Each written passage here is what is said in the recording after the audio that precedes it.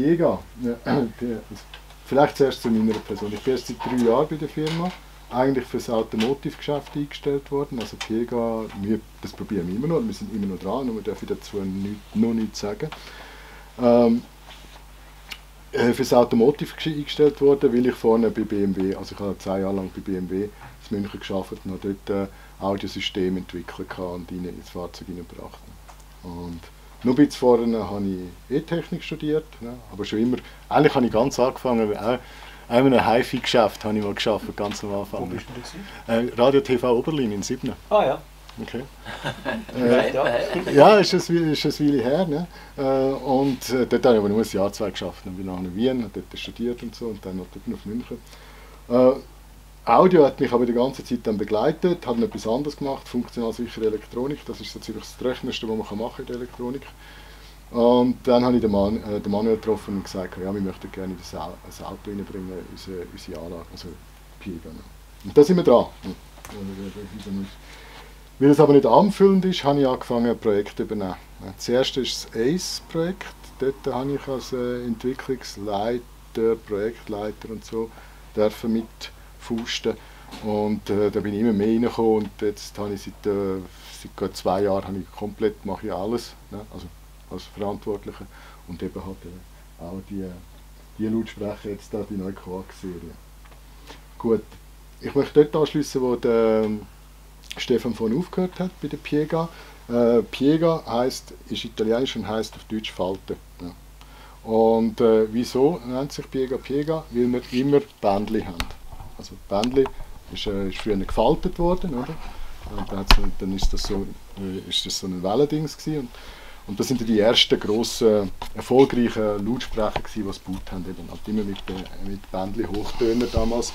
Irgendwann sind Mitteltöne dazugekommen auch wieder Bändli-Mitteltöne. Ne? Und dann nachher ein Coax-System, Masterline, Source und so, das ist immer gewachsen. Aber per, komplett bei Piega durch, durch geht es immer um Bändli. Gut. Und wer von Ihnen hat schon einen Piega-Lautsprecher daheim? Okay, eins, zwei. Und äh, Coax? Mhm. 511? 711. 711? Ah, 711, okay, denen muss ich es nicht erklären, aber den anderen werde ich es jetzt kurz erklären. wieso, wieso macht man denn das, äh, was ist das Besondere an einem Bändchen? Ähm, vielleicht kurz zuerst einen normalen Lautsprecher. Ein normaler Lautsprecher, so ein Treiber, wie man da sieht, ja, und, aber auch wieder, wieder Hochtöne, die funktionieren alle gleich. Die haben eine Spule, ja. auf der Spule ist ein Träger drauf und da ist die Membran dran. Das sieht man jetzt halt nicht, das ist drin. Und äh, durch die Spule fließt ein Strom und das Magnetfeld, der Magnet, der außen ist, induziert über die Lore, äh, wird, wird Kraft induziert, die sogenannte Lorenzkraft, und da ist Bewegung. Das ist der Strom, der um, die, um die Spule herumfließt.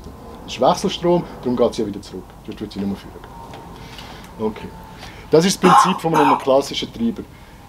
Ein das Bändchen funktioniert vom physikalischen Prinzip her genau gleich. Es ist auch die Lorenzkraft, das ist auch ein Strom, der in einem Magnetfeld fließt und durch das eine Bewegung auslöst.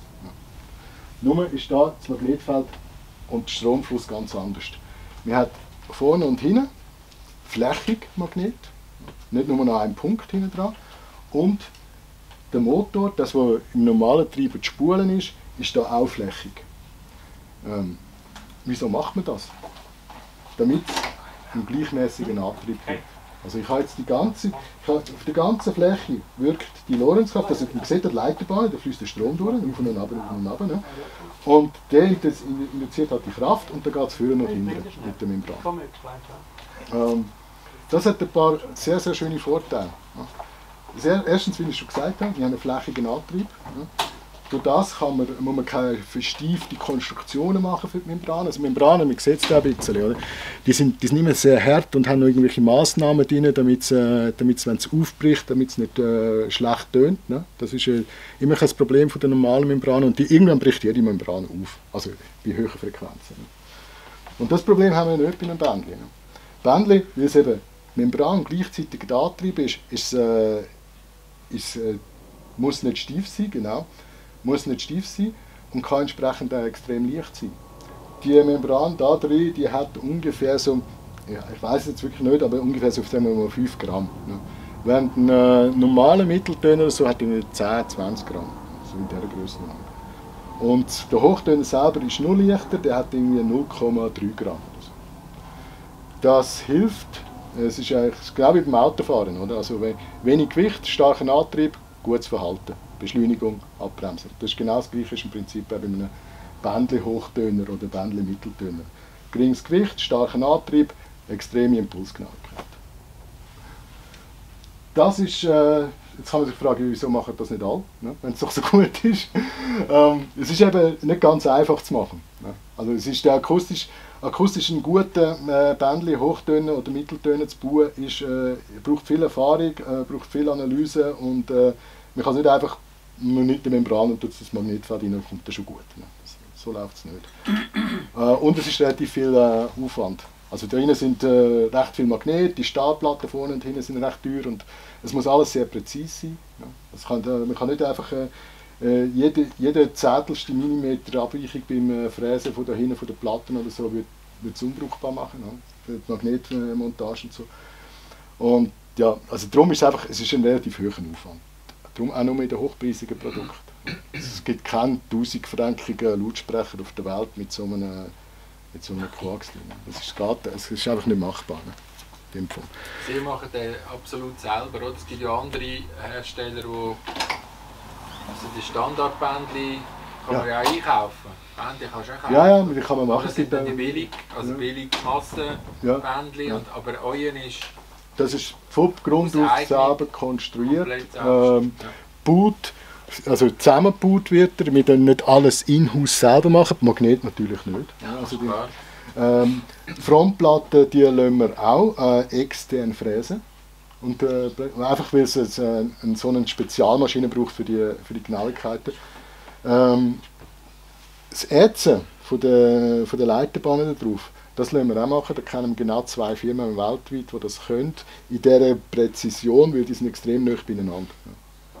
Und so, das ist ein bisschen das Thema überhaupt äh, bei so einer kleinen Firma, wenn man will, äh, mit, zu der Besten, mit den Besten mitspielen, oder? dann muss man sich starke Partner suchen. Also wir haben äh, zum Beispiel das Gehäuse ist ein Strangpressprofil-Gehäuse. Da gibt's auch nur, also wir haben eigentlich am Schluss haben wir noch eine einzige Firma weltweit gefunden, die uns gesagt hat, hey, das machen wir für euch, das können wir machen. Und da, ja, um, um das geht es ein bisschen, oder? Es ist wie, wie bei den Rennautos oder so, wenn man das Beste machen muss man sich äh, irgendwo herholen, wo, wo, wo, wo, wo halt das Partner funktioniert. Okay. Aber das Konzept, die Zeichnung, äh, zusammenbauen und die meisten Teile, also viele Teile machen wir selber und also das ist schon so. Okay. Gut. Jetzt, wieso sollen Sie eine neue Quarks kaufen? Nein, Sie nicht. Das ist gut, Ihre Lautsprecher, die Sie haben. Vogel. Du? Dankeschön. Ja. Also ich würde jetzt kurz etwas erzählen noch zu der Quark selber, was haben wir neu gemacht. Äh, wo unterscheidet sie sich zu alten und dann wir Musik hören. Das erste, was auffällt, ist, wir haben die Volumenvergrößerung. Also wenn Sie die 711 anschauen, die Sie haben, äh, dann ist die jetzt ungefähr, ich weiß, ich weiß gar nicht, wie viel größer geworden, tiefer geworden, breiter ist sie nicht geworden. Äh, Breite haben wir beibehalten, einfach um mehr Volumen zu geben. Wieso machen wir das? Ähm, weil mehr Volumen ist immer gut für einen trockenen, sauberen, tiefen Bass. Also man kann, man kann aus einem kleinen Lautsprecher sehr schön, sehr viel Bass rausholen, aber der Volumen ist einfach im Grundsatz nur durch mehr Volumen zu ersetzen, wenn man wirklich äh, Präzision hat. Das ist, das ist so. Gut, wir haben da zwei Aktivmembranen drin, also zwei aktive Triebe, ganz normale, wie ich es vorhin gesagt habe, ne? und hier zwei Passivmembranen. Das, ist also das Ganze funktioniert ein bisschen wie ein Passreflexsystem, halt einfach mit Membranen statt mit Luft. Das ist der untere Teil. Das Gehäuse haben wir neu gemacht. Äh, wir haben die Wandstärke dicker gemacht und so. Äh, einfach um das, äh, um das ruhig zu stellen. Das Ziel ist ja, das Gehäuse hat möglichst keine Vibrationen auslösen, wie es zum Schallanteil, Schallanteil beiträgt im Raum dann. Und das ist, das ist störend. Also das, das, das nimmt man wahr als Verfärbung ganz, wenn ganz billige Lautsprecher hat, dann dröhnt das nur so bei gewissen Frequenzen. Bei teuren Lautsprechern nimmt man es dann eher so ein bisschen subjektiv wahr. Man weiß nicht so genau, woher das kommt. Oder? Und bei richtig guten Lautsprechern denkt man, aha, ja, es ist jetzt aber sauber. trocken. Und äh, ist aber im Mitteltonbereich, nicht nur im Wasser, ne? das ist ein Mitteltonbereich, wo das Gehäuse Verfärbungen verursachen kann. Und damit das gelingt, haben wir, äh, der Trick hat sich schon der Kurt Scheuch einfallen lassen, äh, haben wir solche TIM-Module drin. Also das ist jetzt quasi so ein Lautsprecher, da ein Stück rausgeschnitten. Und was machen die TIM-Module? Äh, die tun ihren Lautsprechern, die sie haben, es gegen die Wand drücken und dann Vorspannung machen. Das verhindert einfach, dass es, äh, dass es zu vibrieren anfängt. Ja. Die neuen TIM-Module sind jetzt verschraubt auf der Seite, man sieht das vielleicht gesehen. Oder? Das heisst, er tut, äh, tut das richtig anziehen, da, beiden Seiten, und in der Mitte dann nochmal zusammenziehen. Das heisst, ich habe eine komplett fixierte äh, Wand. Da, da tut nichts mehr nachschwingen. Zusätzlich gibt es noch andere Massnahmen drin, um die höher frequenten Anteile ein bisschen zu dämpfen, aber das ist so die Hauptdämpfung, die wir drin haben. Okay. Wo ihr die Teile, also das Aluminiumfertige verarbeiten? Äh, auch dort haben wir zwei, zwei, zwei drei Zulieferer. Ist auch in der Schweiz, wo wir, wo wir die dann fräsen. Ich weiß gar nicht, wie er heisst. Also der, der ist der Pissli. Pis, äh, der, äh, das ist aber der Dings, der macht äh, Stangpressprofil. Stangpressprofil? Ja, nein, nein, der Timodul-Fräser ist ein ah, anderer. Ist, äh, ich bin nicht im Sourcing, bin ich nicht so. das ist. Ja, okay. Ja. Ich weiß es nicht. Das ist ein Rappi-Firma, die das für uns herstellt. Ja. Ähm, ja, genau. Also, so viel zum Gehäuse. Das haben wir äh, auch müssen machen, weil durch die, die größere Fläche, die wir auf der Seite haben, oder, wird das natürlich anfälliger gegen, ähm, gegen Vibrationen. Vor allem, weil der Druck ihnen entsprechend hoch ist, äh, fängt das an mitunter, Uni wird es anfangen zu vibrieren und das wäre nicht gut. Die, die Größe von dem, äh, ich glaube, ich habe es vorhin schon mal kurz gesagt, von dem Lautsprecher ist momentan das Größte, wo man kann Strangpressprofil technisch herstellen in dieser Qualität. Also, weil wir brauchen ja gewisse Toleranzen, damit das alles nicht zusammenhält und äh, gut kommt. Und äh, es sind glaube ich 0, ich weiß das war Sache nie sagen 0,2 mm oder 0,1 mm äh, haben wir in der Länge Toleranz. Und äh, bei allen Ausfräsungen ist sowieso kein Problem, aber jetzt beim Cut oben dran und bei solchen Sachen sind wir in dem Toleranzbereich. Das ist schon äh, da gibt es viele, die das äh, Standpressprofil machen, aber sagen, nein, das können wir nicht. Die Toleranz, wie normalerweise sind es Maschinen oder Flugzeugteile, die nicht genau sind, aber nicht, nicht so genau. Gut. Das dritte, was wir noch geändert haben oder überarbeitet haben, ist der Coax selber. Jetzt, äh, der auffälligste Unterschied ist zu den 711 zu der, zum Vorgänger ist, wir haben über dem Hochtöner nochmal einen Magnet gemacht. Das heißt, wir haben Jetzt auch ein symmetrisches Magnetfeld, vorne und hinten. Ja, ist gleich, also wir haben beides haben ein Magnet, haben ein Magnet drin. Das hilft einfach nochmal, um ähm, erstens den Wirkungsgrad zu erhöhen und zweitens, um die, äh, die Verzerrung, die Distortion äh, noch weiter runterzubringen. Dann haben wir die Frontplatte dicker gemacht. Äh, warum haben wir das gemacht? Damit wir innen dran, die Magnete, die da drin sind, die können wir jetzt weich aufhängen. Wieso wollen wir die weich aufhängen? Damit es nicht klirrt, also damit es nicht ringt. Wenn, jetzt, wenn ich jetzt dagegen klopfe, dann hört es ist dämpft. Oder? Also es ist, jetzt, es ist Aluminium, es ist eigentlich nichts drin, außer Aluminium und äh, Magnet. Wenn das nicht weich äh, geklebt wird, dann wird es Bing machen. Oder? Und das macht es dann nicht. Und wenn es ganz zusammen ist, ist es überhaupt ruhig. Ne? Das ist jetzt einfach nur, wie es da auf, äh, aufgespannt ist, gibt es einen gewissen Rest, äh, äh Rest Scheppern. Okay. Das haben wir gemacht. Dann haben wir äh, uns stark mit den Membranen auseinandergesetzt. Und zwar haben wir das nicht, nicht nur allein gemacht, sondern auch mit einem Partner, mit der Zürcher äh, Hochschule für angewandte äh, Kunst, hätte jetzt gesagt, für, äh, für, für angewandte äh, Wissenschaft. Ja, ja. Ähm, und dort haben wir dann mit dem Laservibrometer drauf geschaut, was passiert da eigentlich auf dieser Membran, bei welchen Frequenzen, wo könnte man das Problem haben, wie man es optimieren. Das, äh, das ist sehr, äh, aus unserer Sicht erstmal sehr, äh, sehr erfolgreich gewesen. Wir haben eine neue Beschichtung hinten entwickelt, wo die, äh, das Verhalten nochmal deutlich verbessert hat, vor allem im unteren Übertragungsbereich. Der untere Übertragungsbereich bei so einem Treiber ist ungefähr zwischen 400 und 500 Hertz. Ähm, dort ist jetzt deutlich linearer und durch das ist auch ist die Abstimmarbeit sehr viel einfacher geworden. Linearer heisst, der ist äh, vom Frequenzgang, hat typischerweise, und das ist ganz normal für so einen, für so einen Trieb, hat es unten dran ein Peak, ne? das ist dort ist die Resonanz, und nachher wird es je nachdem jetzt gerade oder ein bisschen wellig. Und je nachdem wie wellig das ist und so, muss man mehr oder weniger ko- korrigieren, damit es nachher, und Sie hören, wirklich einen linearen Frequenzgang. Ähm, je weniger muss man korrigieren, umso besser ist es natürlich.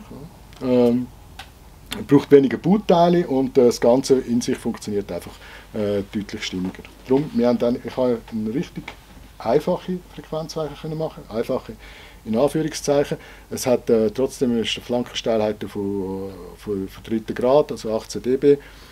Und das braucht es einfach für Bändchen. Aber sonst Korrekturen oder so, wie man manchmal sieht, mit so kompli- komplizierten Netzwerken, wo, wo Zeug und Sachen korrigieren, das haben wir alles nicht müssen machen. Also es ist eigentlich nur Frequenzweichen, keine Frequenzgangkorrektur. Genau, jetzt wären wir auch schon beim Schluss, weil das ist das, was wir als letztes gemacht haben, die Abstimmung. Ja, wir zwei Fragen, genau. Letztes Mal sind Fragen viel gekommen, jetzt, jetzt habe ich sich auch zugetextet. Also ich bin jetzt überrascht. Ich hätte nicht gedacht, dass das Aluminium so dick ist auf der Seite. Also wenn du die Lautsprecher so siehst, hätte man gesehen, wie die rechte... Hä? Ja, nein, weißt du, von der Dicke, nicht? Also, vor allem die Frage, also wir sind Hast du da die Dicke? Da hätte ich jetzt gemeint, das dort drin. Bahnstärke, ja. Sind wir auch dicker geworden Ja. zu der 711, 5, ich glaube 2 mm, oder Roger? Ja, jetzt sind wir, also vorne sind wir jetzt bei 12 Ja. ne? und auf der Seite, weiß ich weiß es nie auswendig, sind wir jetzt glaube ich bei 7. Es auch immer Materialschlacht. hä?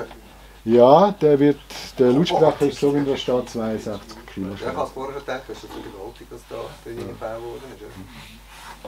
Weißt du, äh, Wirkungsgrad und so, wäre vielleicht noch spannend, wäre ich Ja, genau, so. genau, genau. Hä? Wäre noch, ist noch eine gute Frage, oder? Ich habe 8 Watt, kann, kann ich den betreiben? So. Ja, schon. 8 Watt. Nicht, nicht so laut, also das ist gut für die Nachtruhe. Jetzt wissen wir es auswendig, oder? Ja.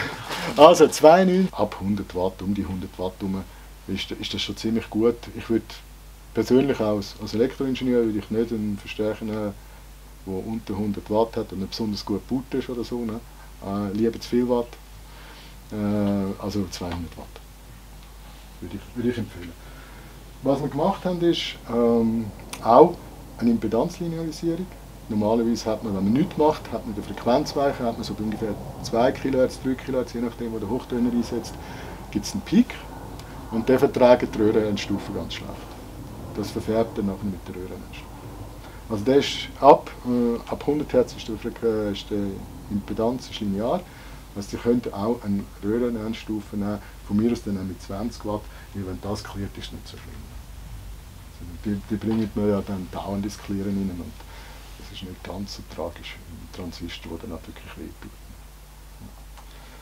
Ja, Also ist dann der Röhrenverstärker an der Endstufe nicht das Optimale für die, äh, für die Lautsprecher.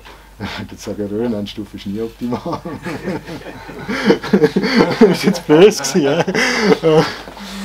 ähm, Nein, äh, probieren Sie es aus. Also, weil, äh, ich will jetzt keine 3 Watt oder 5 Watt, es gibt ja die, wie nennt die heißt, Single-Ended. Äh, Ja gut, äh, wir reden von, von gescheiten... ja, ja, aber so. Äh, Du, also nein. Moment, es gibt gute 8 Watt Single Ender Trioden. Die Frage ist eben, passt es mit einem Lautsprecher oder nicht? Also, nein, für den nicht. aber der nicht. Nein, Eben, das Clip schon ist da besser. Genau. Also Dings geht. Äh, ich habe den Dings so, den Audio Search ausprobiert. Ich glaube, Ja. hast du mal die Heim gehabt, Ja, ja, Äh, hast du nicht mehr noch? ja, Ja, ja, jetzt weiss ich, wo er ja, steht. Äh, der geht gut an der 6 Nein, was habe ich jetzt gehabt? Nein, der 6 Also der kleine habe ich es gehabt. Ja. Perfekt. Ja. Und das ist früher an einer 711 ist das irgendwo, hat das nicht harmoniert. Hat es irgendwo so eine Analytik oder eine Phasenverschiebung gemacht, wo, wo nicht gegangen ist. Ja. Da bei denen denke ich, das ist auch 250 Watt. Äh, ist ein bisschen limitiert, also ich, auch dort. Also Leistung Ja. ist... Hm? Monoblöcke gehen an. Ja, die gehen auf jeden Fall die nicht dran. Das ist richtig cool. Aber äh, du kannst auch mit klein mit 2x50, 2x80 Watt Röhren dort drauf, das geht gut, ja, absolut. Das ist noch etwas zu der Aufstellung von der Speaker. Da Wand. steht relativ breit und, und relativ gerade. Ja. Also ist Einwinklung, Abstand, hast du da Ja. noch ein paar äh, interessante... Also Abstand ist eigentlich da, wie es jetzt aufgestellt ist, ist es tiptop. Also ungefähr so einen halben Met- Meter Abstand zur Rückwand, das ist immer gut, egal was man für einen Lautsprecher nimmt, fast. Ähm, zum Anwinkeln, das kommt auch darauf an. Wenn Sie Sachen machen, die Sie nicht sollten machen, wenn zum Beispiel nicht an, nicht an einer Seitenwand hängt, der Lautsprecher, also wenn ich jetzt da, wenn ich eine Seitenwand wäre, dann hilft es Anwinkeln, um die Reflexion da zu minimieren oder zu reduzieren. Äh, das nimmt, ein bisschen- gibt einen besseren Fokus. Also die, die Seitenreflexion da ist, ist eigentlich das ziemlich Schlimmste, was man machen kann. Also für, für Klarheit vom Klang. Das, äh, das hat mit dem Haseffekt zu tun. Ähm, egal. Ähm, oh doch, ich erkläre es kurz. Also der Hase, Hase war ein Physiker gewesen, äh, und, und der hat sich mit der Akustik auseinandergesetzt und ist nicht davon gekoppelt. Ähm, nein, es geht das Gesetz von der ersten Wellenfront. Äh, man tut äh, ein Geräusch bis zu einem gewissen Grad, wenn sie zeitlich verzögert kommen, immer noch am ursprünglichen Geräusch zuordnen. Das macht das Hirn. Und das ist ungefähr bei 30 Millisekunden oder so. Also alle Signale, die in diesem Bereich verzögert kommen, werden trotzdem am ursprünglichen Ereignis zugeordnet. Jetzt muss Hirn dafür aber rechnen. Weil Das, klingt, das ist nicht besonders geil, also gut, Entschuldigung, ist nicht besonders gut für, äh, für das Klangerlebnis, für das entspannte Hören. Jetzt, wenn Sie da sind, haben Sie genau so, einen, äh, so, eine, so eine Zeitverschiebung und, äh, und das ist eben auch nicht abdämpft. Wenn es nach hinten geht und wieder zurückkommt, oder? wenn Sie da einen Meter haben, 6 dB dämpft, oder? Nur mal einen, ha- nur mal einen Meter zurück, wo es dann wieder gleich wird, dann haben Sie schon ungefähr 7, 8 dB gedämpft. Das heißt, es ist weniger schlimm als da, wo ich fast den gleichen Weg habe. Das, das, das Signal auf der Seite wird relativ wenig gedämpft im Verhältnis zu, zum Hauptschall und äh, das ist anstrengend fürs Ohr. Also, das ist einfach, äh, die Seite, Seitenreflexionen sind oft nicht so, sind, sind Ja, aber die, die Seitenreflexion an und für sich, wenn man sie akustisch an und für sich optimiert, und sagen wir jetzt mit äh, 10 cm dicke Isolationsbereich rein, dann hat man die Möglichkeit, es näher anzufahren. Ja, ja, das geht schon. Ja. Also wa- was eben auch hilft, ist, wenn man es leicht anwinkt. Ja. So, zusätzlich noch das Maß. Ja, ja. Ja. Und ansonsten ist es ein bisschen, ähm, ich würde sagen, so wie es jetzt da ist, so, so leicht zum, Hör- Hörung, hin- äh, zum Hörer eingewinkelt, äh, so haben wir sie auch ungefähr abgestimmt. Gut. Und äh, Stereodreieck, äh, ungefähr so anderthalbfache Abstand oder so zwischen gleichen oder und anderthalbfachen Abstand von der Lautsprecher sollte man halt benutzen. Und wenn es geht, nicht näher an der Rückwand. Das ist auch oft das- ein, ein, eine Quelle für, für unangenehme Erlebnisse. Ja. Gerne noch mehr Fragen? Also was darf denn so Distanz sein? Also was soll die Distanz sein zu der Wand? Ja, also immer wenn es ein Meter ist, aber ein Meter wird es relativ entspannt. Okay. Also ich, ich habe jetzt wirklich vom Extrem geredet. Äh, wenn man so 20 cm Abstand hat oder so, dann, äh, dann wird es schwierig. Aber man muss ihn leicht einwinkeln, man kann ihn nicht gerade lassen. Ja, kommt dran an. Auch gerade Ja. lassen? Ja. Okay. Wenn du nicht an die Wand angehst, dann kannst du eben nach einwinkeln, oder? So, gell? Ja, das ist, das ist so die Idee. Gewesen. weißt du, wenn jetzt hier zwei Meter Das musst zwei. Meter. Das musst du nicht. Das ist eigentlich die Idee. Wenn du näher an der Wand bist, dann hast du eben sehr viele Reflexionen indirekt.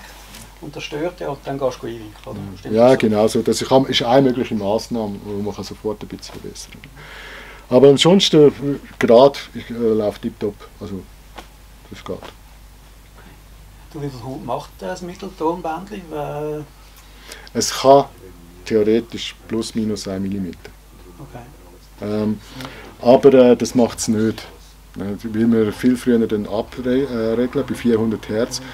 Und dort sind es, glaube ich, ich müsste es mal anschauen, oder, dass ich das nicht messen und das stimulieren, das ist ziemlich genau Ja. 0,2 Minuten. Also. Gut. Ja, jetzt würde ich äh, Sie hören lassen, wenn das für Sie okay ist, wenn Sie keine Fragen mehr haben. Ist gut? Soll ich schnell Kettchen erklären? Ah ja, genau. das ist das letzte wir Mal. Ja, da weiss doch jetzt aus. Ja, kaufen müssen es bei mir. Äh, also, äh, die üblichen Verdächtigen. Äh, also Quelle ist ein äh, DCS-Streamer Rossini. Äh, sie haben Tidal drauf, wir haben Cobus drauf. Das sind die Streamingdienste, die zwei bekannten guten. Ähm, ist neu überarbeitet worden, heisst jetzt unterdessen Rossini Apex. Hat äh, neues Buch drin. Vorstufe, Röhrenvorstufe, Audio Research, Referenz 6 SE. Endstufe, ein D'Agostino Transistor Endstufe mit 200, 250 Watt, also wir haben den erfüllt.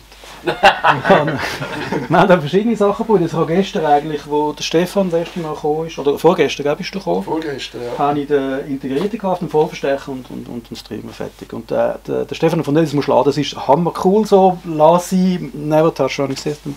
Ich kann es nicht können laden, dann gleich irgendwie probiert. Und es macht dann noch ein bisschen mehr. Aber auch da vorne haben wir äh, auch den Integrierten, der, der integrierte D'Agostino alleine, das funktioniert wunderbar. Also leistungsmäßig sowieso und auch sehr harmonisch, dynamisch, räumlich, also richtig gut. Also sie sind nicht heikel, es spricht wirklich für die Lautsprecher, einen guten Wirkungsgrad und es ist nicht irgendwo etwas, wo, wo eben auch mit der Röhre es geht, also ich könnte eigentlich alles dran hängen. Also Lautsprecher links nicht, Also, äh, Streamer ist ein äh, DCS Rossini Apex. Der ist etwa vor zwei Monaten neu im Markt, hat jetzt ganz einen coolen Bericht im Stereofile, gell? Das ist ganz aktuell. Das ist auch überarbeitet, das Gerät gibt es seit äh, vier, fünf Jahren schon. Äh, speziell an dem, das ist ein äh, sogenannter Ladder-Deck, so mit äh, Widerstandsnetzwerk. Äh, dann Vorstufe ist eine Röhrenvorstufe, Audio Researcher, Referenz 6 SE. Äh, auch überarbeitet wurde vor zwei Jahren. Endstufe ist der Agostino aus der Progression-Serie, die ist sehr kontrolliert und treibt einfach die Lautsprecher, die hinten dran sind, sehr gut. Ich hatte gestern eine Kombination dran, gehabt, äh, wo der Stefan von der Pflege da war, auch mit dem Streamer und dem äh, Vollverstärker, mit dem, mit dem D'Agostino, äh, mit dem Progression, mega gut. Und, und äh, der Stefan hat gesagt, das musst du lassen. Ja, nicht anlangen. Und ich habe dann nicht gelesen, dann hat es gleich noch probiert, es wird nachher anders, es wird nachher einfach noch so, der Schmelz kommt noch ein bisschen. Die vorne, der 611 ist der Progression dran, als reiner Transistor. Wenn man da nicht, sind ein bisschen Unterschiede da, aber es ist, äh, der Lautsprecher zeigt es einfach so schön. Ja, und äh, sehr tech, transparent gemischt. Auch, haben wir Mühe gegeben.